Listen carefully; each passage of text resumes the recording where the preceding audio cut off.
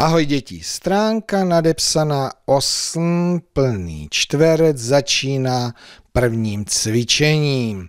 Tak přečteme si zadání, nejdříve vy. Ano, napiš a spočítej. Máte opisovat příklady a vypočítat. Já si myslím, že to není nic zas tak těžkého, takže se do toho pusté a až to budete mít hotové, tak se vraťte k videu a porovnáme si řešení.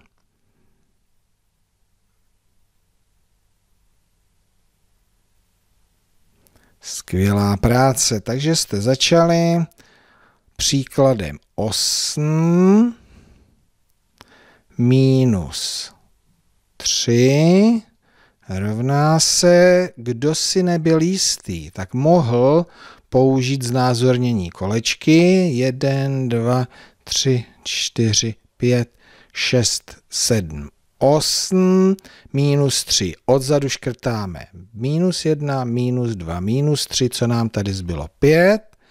No a kdo si tam nechtěl čmarikovat, tak si mohl vzít do počítadlo příklad 8 minus 3 rovná se matýska na osmičku, místo škrtání odzadu položíme trojkový pásek a to, co se nám semhle sem vejde, je výsledek. 8 minus 3 rovná se 5.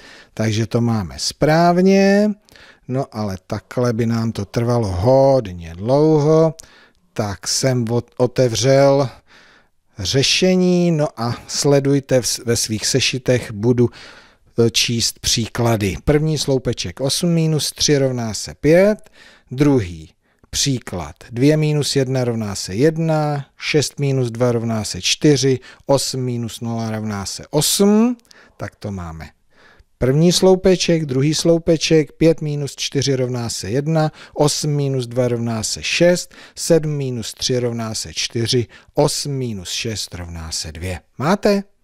Skvělá práce. No tak se nějak ohodnoťte. Jednička, smajlík, záleží na vás.